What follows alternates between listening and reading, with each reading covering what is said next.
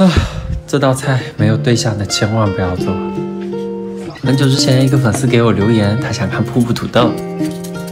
我拖了好久都没做的原因是真的太费手臂了，做完连我的麒麟臂都开始发抖了。一定要让你们热爱健身的男朋友给你们做哦。捣好的土豆泥过筛，你们别看这一步好像很轻松、很治愈的样子，其实非常的费男朋友。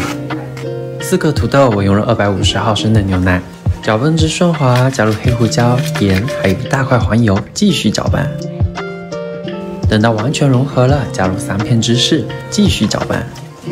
接着就是拉丝的关键，加入多多的芝士碎。